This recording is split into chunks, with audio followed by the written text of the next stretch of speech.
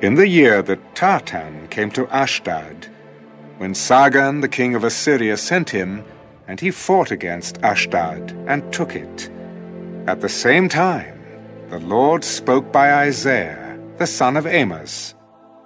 Go and remove the sackcloth from your body, and take your sandals off your feet. And he did so, walking naked and barefoot.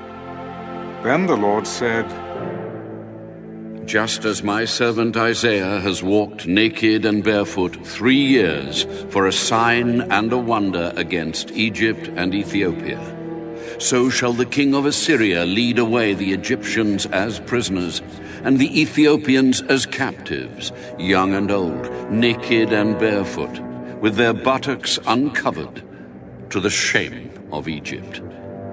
Then they shall be afraid and ashamed of Ethiopia their expectation, and Egypt their glory.